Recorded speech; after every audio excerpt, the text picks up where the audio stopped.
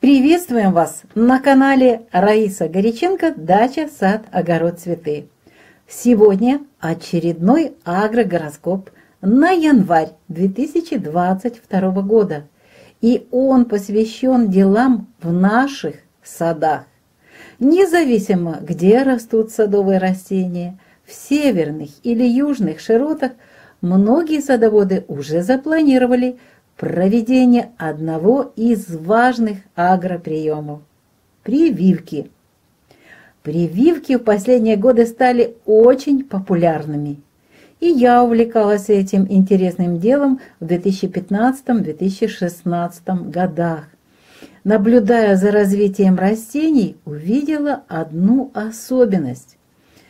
Мои наставники всегда делали прививки в дни стихии огня – и я пошла по этому пути. Правда, начала и другие периоды нахождения Луны использовать для прививок. И вот эти другие оказались более успешными. Очень интересные результаты получала, но я еще до конца не все осознаю и понимаю.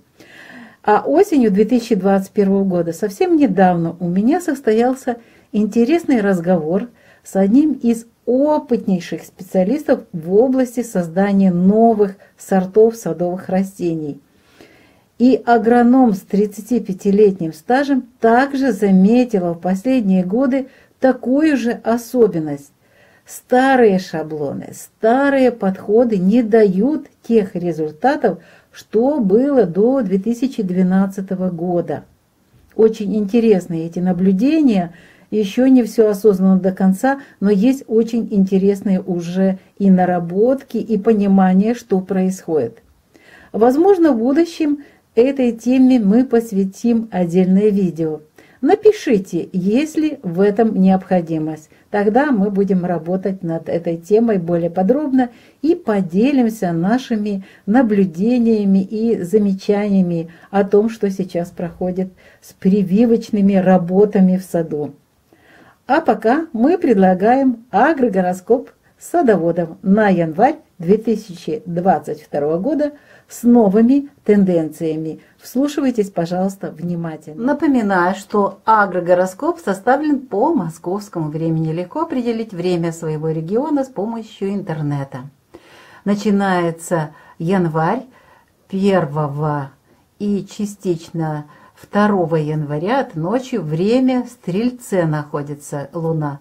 Ну, а 2 это уже новолуние. Новолуние будет в Козероге. 3 тоже в Козероге. Это три дня Гекаты. Ну, а если знаки у нас, в данном случае знак стихии огня и знак стихии земли, то в новолуние очень хорошо обрезать садовые растения. Но это там можно делать, где нету вот этих проблем с погодой, как у нас, например, на днях уже э, было обледенение. Ну и если бы еще немного, то, конечно же, много э, веток бы поломались. Так вот дождь спас эту ситуацию. Поэтому не спешите, но если есть необходимость, это особенно жители теплых стран, можете обрезать садовые растения.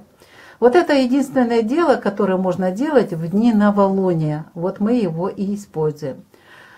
Третьего, вернее четвертого, Луна уже будет с 2 часов ночи 45 минут в знаке Водолей. И здесь будет находиться еще 5 и 6 до 3 часов 18 минут. В Водолее – для теплых регионов нельзя поливать растения садовые. Ну, а остальные работы здесь уже после новолуния, уже начинается растущая луна, просто пропускаем. Это выходные для садоводов. А вот уже, смотрите, далее 6 и 7 луна находится в знаке рыбы, растущая луна. Конечно же, там, где нужно поливать, поливаем. И очень хорошо закладывать на стратификацию семена семечковых растений садовых. И здесь я уже пишу прививки. Вот прививки – это очень важно. И чистота. Мы в прошлом году с нашими подписчиками уже рассматривали эти варианты и проводили работу прививки в это время. Очень хорошие результаты получили. Ну и почему именно в рыбах сейчас это актуально – вот рядышком Овен, тоже можно провести прививки. Вот сделайте для себя просто-напросто э, такие эксперименты. Проведите вот эту работу создания новых растений в рыбах и в овне. Увидите, какая разница. Но у нас получалась э, вот, э, разница в том, что в овне э, как будто бы и приживаемость была хорошая, и в начале растения и развивалось, но потом вдруг к осени оно засыхает. А вот в рыбах растение нормально дальше себя чувствует. Ну вот это мы будем изучать и будем дальше этот вопрос рассматривать. Но вот можно использовать рыбу и начальная стадия растущей луны очень хорошо. И еще в рыбах для садоводов, кто занимается разведением земляники, клубники, с помощью семян, пожалуйста, можно в эти дни сеять семена на рассаду. Очень хорошее тоже время. Ну и восьмого у нас э, в Овне можно использовать время для выкорчевки старых деревьев и пней. Это актуально для тех, кто впервые сейчас уже осенью получил возможность э, работать в саду, в старых садах. Многие покупают дома в деревнях, где уже старые деревья. И вот если вы, многие пишут, рассказывают, какие деревья, что делать, вот старые деревья и пни выкорчевывайте в это время, все нормально получится. Девятого делайте перерыв. Хотя можно выкорчевывать э, пни в это время, но нужен перерыв и человеку, потому что переход Луны из первой во вторую фазу – это очень сложное время, стрессовая ситуация. Хотя она длится всего 24 часа, вот с, с момента вот этого перехода, но это тоже сильно стресс для нашего тела, для нашего организма. Земля, растения, отдыхайте в это время. Вот десятого уже – После 18 часов начинается время очень хорошее. Вот мне вот это время очень нравится для прививок, э, хотя это время стихии Земли.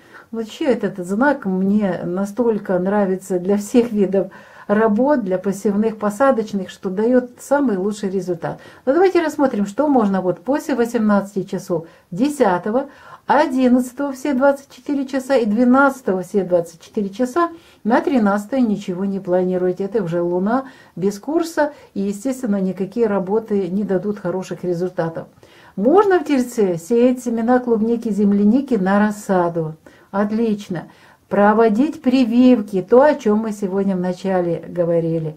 Укоренение черенков, то, что вы подготовили в в 2021 году вот эти череночки можно уже укладывать на укоренение. Это и виноград, и смородина, и инжир, э, это актинидия и другие ягодники. То, что вы имеете в нарезке и хотите размножить, все эти вот череночки можно укоренять в тельце. Растущая луна замечательно получится, очень хороший период. Затем наступает уже 13-14, это знак стихии воздуха, близнецы. Поэтому здесь очень хорошо выкорчевка старых деревьев и пней. Но и э, близнецы э, покровительствуют клубники и земляники. Вот есть такая у них любовь к этим растениям. Поэтому можно высевать семена клубники земляники на рассаду. Но помните, что заранее должна быть увлажнена земля. Идем дальше. 15 января здесь у нас получается, что с утра с 5 часов 23 минут и до 19 часов 12 минут Луна без курса. Это близнецы, ничего не делаем. И у нас получается очень маленький период после 19, а вернее после 20 часов Луна будет продуктивной в знаке Рак до 0 э, часов, до конца суток. Ну вот это можно посвятить время стратификации, поливам, Э, ну, в ночное время что можно еще делать? Ну, можно, кстати, и землянику, и семена э, клубники тоже посеять на рассаду. Здесь и полив может быть. Но вот этот короткий период можно использовать для вот этих работ. Далее начинается сожженный путь полнолуния. 16 начинается в знаке рак, и далее 17 тоже в знаке рак сожженный путь полнолуния, сама полнолуние 18 а также здесь уже лев 7 часов, 19 э, тоже лев и 20 луна находиться будет во льве. Это все сожженный путь полнолуния. Плюс еще 20 добавляется луна без курса до, до 17 часов 2 минут, до момента, когда луна уже перейдет в знак Девы. Вот это начинается уже хорошее время для садоводов. Ну, что можно в деве делать? Дева покровительствует всем черенкам, размножению черенками декоративных и других растений, а также покровительствует цветам. Так что, если есть садовые цветы, черенки этих садовых растений, пожалуйста, тоже укореняйте. Самое главное, 21-22 провести вот эти все укоренения черенков, если вы запланировали на это время. Э, затем 22 уже вечером, после 22 часов 47 минут, у нас начинается луна без курса, она будет продолжаться до 23, до часу ночи и 3 минут. И уже в час ночи и 4 минуты уже будут знаки весы, это уже бывающая луна. У весах 23 и 24 можно проводить санитарную обрезку. Еще свежа вот эта э, сожженный путь полнолуния, свежа эта энергия еще сильная, поэтому только санитарная обрезка. Это если что-то поломалось, ветер поломал, вот это можно делать. И выкорчевка старых деревьев и пней. Это очень хорошо в это время делать. Идем дальше. 25-го 25 это время, когда уже Луна будет переходить из знака весы в Скорпион, и плюс еще и переход Луны из третьей в четвертую фазу. Естественно, снова выходной. А вот 26-го в знаке Скорпион. Вот можно делать прививки.